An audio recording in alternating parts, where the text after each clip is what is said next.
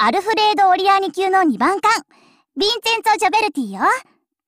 勇ましい巡洋艦たちと靴輪を並べ、数々の先人を、ちょ、ちょっと違う？確かに、完成は遅かったけど、浸水日は同型艦では2番目だから、本物のお姉さんで間違いないわ。サリア帝国所属、ヴィンチェンツォ・ジョベルティよ。あ、名前が覚えにくい？じゃあ、GB はどう？ジョベルティの略称にして、あたしのペナントナンバー。これで覚えられるよね。忙しい一日の始まり。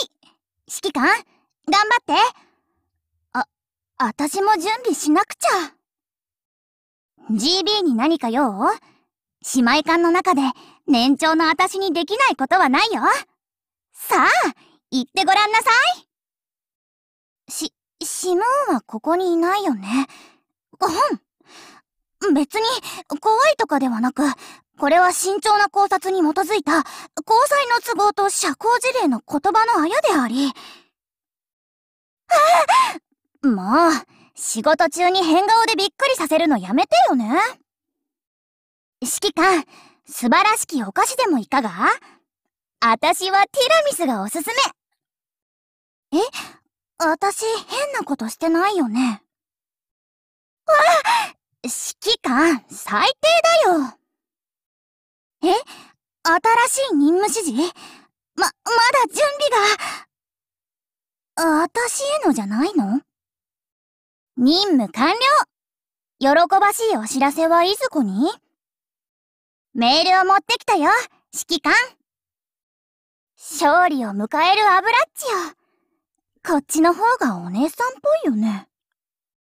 委託組、機関セリ。麗しきシニョリーナにもう一歩。指揮官に失望なんかさせないよ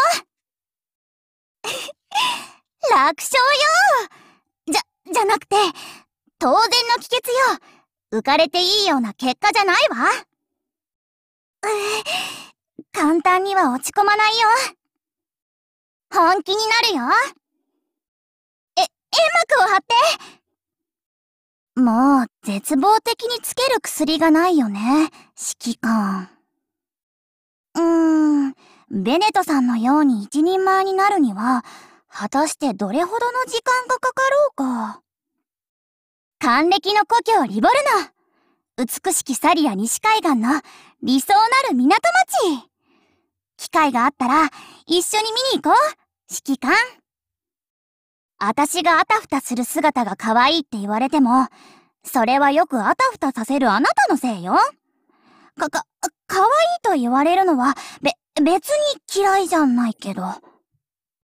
指揮官と違う関係で出会っていたら、例えばクラスメートとか、もしかして、平凡にしてロマンチックな物語を、か、考えてみただけだよ。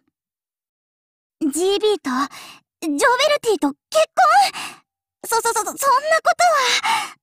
とは。ダメよ、GB。嬉しすぎるからといっても、お姉さんらしく、余裕で冷静で優雅にグラーツヤに。よ、よし。では指揮官、その指輪をあたしにはめてもらえないかしら。少し楽してもいいよ。な、仲間だよね。